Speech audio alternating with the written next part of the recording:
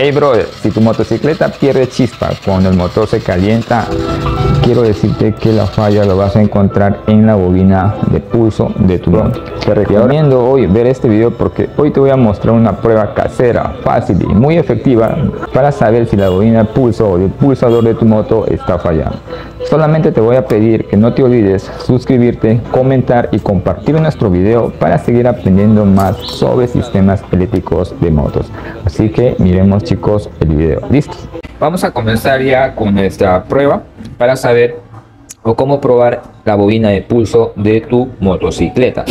Miren, para hacer esta prueba vamos a necesitar hoy un multímetro vamos a necesitar también este diodo LED como ven acá en mis manos esto es muy fácil de encontrar lo pueden comprar en cualquier tienda de electrónica cualquier tienda electrónica consiguen un diodo LED listo y también vamos a necesitar una llave número 8 ok entonces miren acá. Este es un estator. Este es la famosa bobina de pulso. Y lo que vamos a hacer es vamos a medir para saber cuánto es el valor de esta bobina de pulso de tu moto. Miren amigos, la bobina de pulso va a variar o la medida varía de acuerdo a la cilindrada. Ya, vamos a encontrar bobinas de pulsos que nos miden 100 ohmios, 150 ohmios, 200, eh, 270 a 300 ohmios como máximo. ¿Listo? Entonces, acá utilizando el multímetro, vamos a seleccionar el multímetro y vamos a colocar la escala en ohmios. ¿Listo? En el valor de ohmios, el símbolo lo pueden encontrar con el símbolo de ohmios que es el omega, ok. Acá está ohmios, listo, rango de ohmios, todo esto de acá, ohmios, la seleccionan acá en continuidad.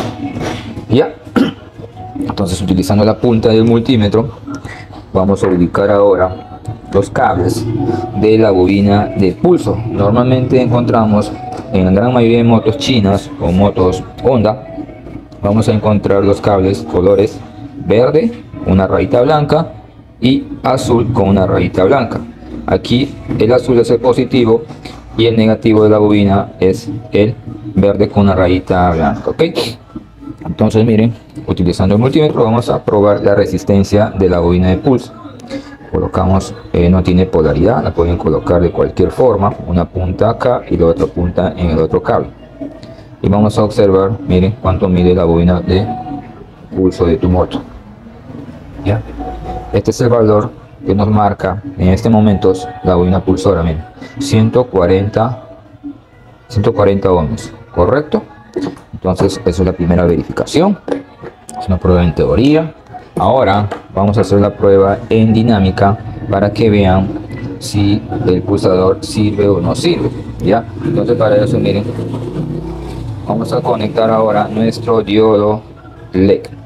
Miren, acá vamos a encontrar el diodo que tiene eh, dos patitas. Miren, tiene dos patitas.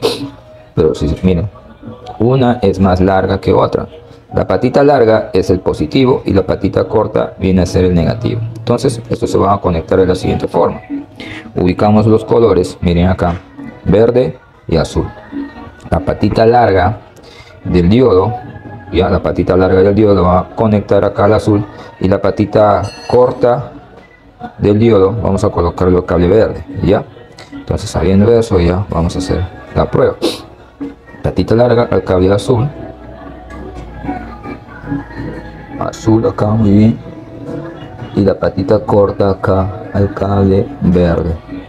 Y nos queda así ya la patita larga al cable azul y la patita corta al cable verde ya la ponemos por un momento por acá ya está conectado el diodo y ahora miren utilizando esta llave la llavecita número 8 lo que vamos a hacer es vamos a rozar acá acá en el inductor del pulsador. Miren. Ya miren. Rozando. Se genera la pequeña corriente. Como ven como enciende el diodo con el rosa así debe generar tu bobina pulsadora el pequeño voltaje para que para que el CDI reciba ese voltaje y gestione la chispa y se genere la chispa en tu motocicleta. Listo chicos, así ustedes pueden probar, ¿ok? Bueno, de verdad amigos, muchas gracias por el video. Ahora ya saben cómo deben probar la bobina de pulso de su motocicleta. Bendiciones y pendientes al siguiente video. Chao, chao.